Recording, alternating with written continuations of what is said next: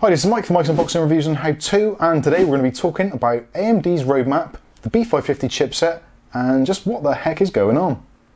Keep watching to find out more.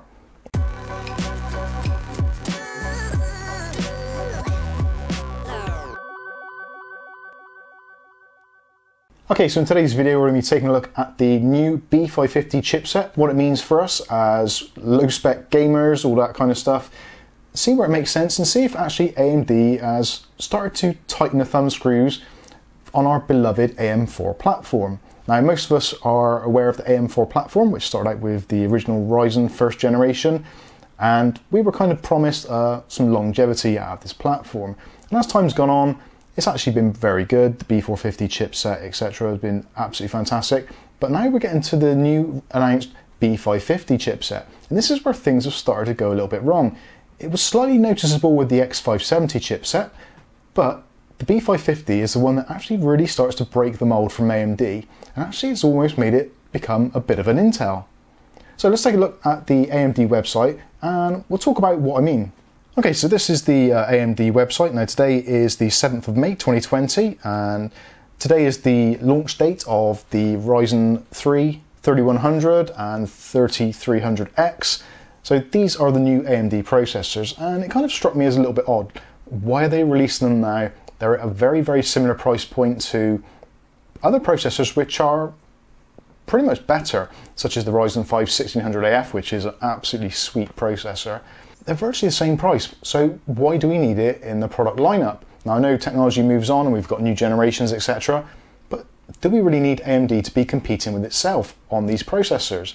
And actually today, after looking at the B550 chipset, it's actually starting to fall into line. I understand entirely why these new processors are out and why they are so critical for AMD's success going forward with the B550 chipset. So let's go back to the uh, website. So this is the introduction for the AMD B550. So it enables PCI Express 4 for everyone, which is uh, great. If you need faster drives, all that kind of stuff. But one thing I really did notice straight away was the logo on the screen there. So you've got quite clearly third gen AMD Ryzen desktop ready, which is fantastic. That's what we want to see. But in the kind of the smallish print underneath, it says not compatible with AMD Ryzen 5 3400G and AMD Ryzen 3 3200G. Now these are technically second gen parts. The naming convention is very confusing. But you'd think that the B550 chipset is the absolute perfect combination to be used with those particular APUs, being that they're built-in graphics, so keeping the cost down. For system integrators or for light gaming purposes, the B550 chipset with its enhancements and those particular processors will be absolutely perfect. And the B450 chipset with those particular processors is absolutely amazing, gives you so much performance for your money. So why would they remove them from the product stack? on the B550 chipset? Very good question. Obviously, there is a technical reason behind it, um, which I'm not in a position to tell you what it is. Hopefully, someone else will chip in in the comment section and let us all know what is going on. By seeing that, immediately it's kind of opened up the window to why those two new processors have been released today the 3100 and the 3300G. Because without them, the B550 is pretty much dead on arrival.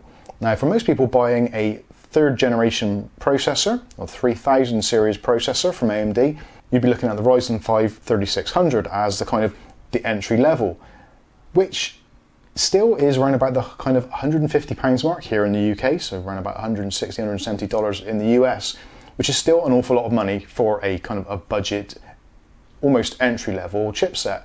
So that is why they need those processors out, and also at that kind of similar price point to those other processors we mentioned, the Ryzen 5 1600AF, even the Ryzen 5 2600, and also these APUs. So it makes complete sense why they've been released. We didn't really need them on the market. It's a really nice, refreshing thing to see them on the market, but we didn't really need them because we had chips which would suit the bill already. But because of the limitations of the B550 chipset and also the X570 chipset, this is why they've come out. Because otherwise, there's nothing to put on the motherboard, especially if you're buying a budget system, which then people would probably look at the newer Intel chips. So let's have a look at the motherboard chipset solutions listing here for the Socket M4 and see where we've started to lose some compatibility and also some things that don't actually make any sense. So if we start at the bottom, the A320 chipset, which is the bang for the buck, budget, entry level motherboard, most system integrators tend to use these to save money wherever they can because generally you can put pretty much any processor on there and with sufficient cooling they generally run okay. But as we can see, the A320 on this far side, so if you're looking to use it for a first gen, no problem. First gen with Radeon graphics, no problem. Second gen AMD, compatible, and also second gen with Radeon graphics, again, compatible. But this is where we start to get into a kind of weird area. So third gen AMD Ryzen processors, here it says eh, there's a big X on it. So basically meaning it's not supported or it isn't suitable. So immediately when I looked at that, I thought, well, hang on, because the A320, the M-K from Asus, fantastic little board, which I reviewed a while back, which you can check out up here. But I thought, I'm sure I saw that in the BIOS revision that it did actually support the third gen or 3000 series processors. So let's take a quick look on the Asus website, and lo and behold, here he is, Prime A320 M-K, again, A320 chipset. And scrolling down through the list, we've got quite clearly Ryzen 3 3100, and underneath that, Ryzen 3 3300X, both of which are compatible with that board with BIOS revision 5007. So completely going against what AMD have said. So this is really confusing. So we don't really know if it's going to be an issue with certain boards going forward. Like it says above, selective beta BIOS update is needed for the B350 and also the X370 boards. And same actually ex example for the X370. So the Prime X370 Pro. So let's take a look at CPU and memory support. Uh, if we scroll down through, so we've got the older A series chips there, as we'd expect. But again, we've got Ryzen 3 3100 listed and the Ryzen 3 3300X listed, so that isn't going to be a problem on BIOS version 5008. So we shouldn't have any problems at all. But another thing which is weird is it's not technically supposed to support some of the newer Ryzen chips like the 9 series. But again, those are all listed there and should work absolutely no problem at all.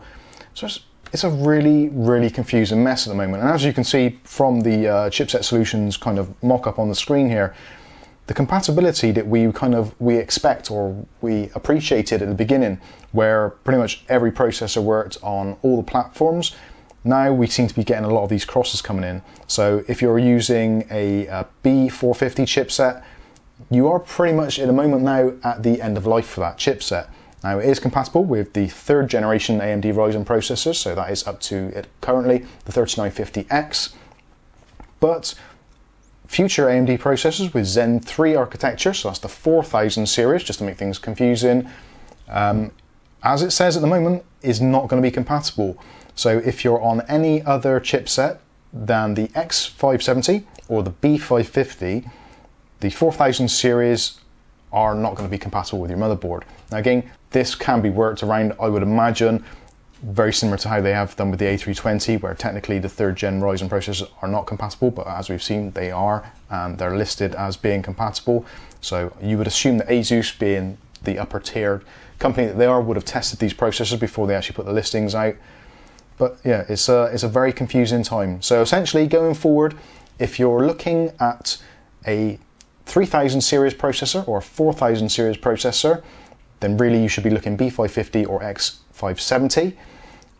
If you're kind of in the middle ground or you're a system reseller, you can probably pick up some really good bargains now in the coming days and weeks for the uh, X470 and the B450 chipsets. The B450 chipsets, there's quite a lot of stock on the market, so I would imagine to see some massive decreases in price with that. We have been told that the B550 chipsets boards are going to be looking roughly the same price as the B450s are currently now.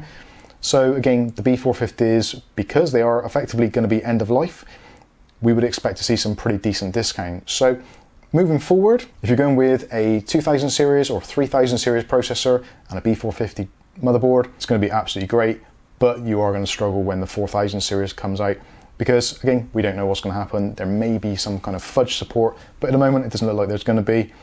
So it's a, it is a very odd time. There's going to be a lot of complexity, and I can imagine the comment section being absolutely crazy it's pretty bad at the moment with people saying, is the 3000 series processor compatible with XYZ motherboard? I get it all day long, and it actually a lot of the times it confuses me. I'm not entirely sure every processor is going to work, so I end up going to the motherboard manufacturer site, checking their BIOS updates and seeing what is available, which is one thing I would strongly suggest you do. If you are considering any of these motherboards, based A320 right the way through to X570, and you've got a particular processor in mind, do yourself a favor, go to the manufacturer's website, check their latest BIOS revision, check the CPU compatibility, and see what is actually listed as being compatible with your board. It may not always reflect what AMD has put out in the mainstream media. So that pretty much wraps things up. Um, again, it's a little bit of a rant, so I do apologise for going on, but it just seems really confusing. I didn't really know why these new processors had come out. I know it's a new line for AMD to kind of push, but now it makes complete sense being that there is not going to be the backwards compatibility that we're used to with the B550 chipset. And essentially, if you're going to be buying a B550 on launch day and you're planning on using it with an older Ryzen processor, it ain't going to happen. You are going to have to have a latest and greatest, or at least a current generation processor to enable it to work out of the box. So, as per usual, if you've got any comments or questions, please do feel free to put them in the comments section below. Um, if you're a little bit pissed off about AMD doing this and kind of removing the seemingly backwards compatibility on the B550 chipset, sound off in the comments. I really want to hear it. And uh, hopefully, if we make enough noise, maybe, you never know, somebody might introduce a way of enabling those processors to work. So, I've been Mike, this is Mike's Unboxing Reviews and How To, and hopefully, we'll catch you in the very next video. Thanks for watching.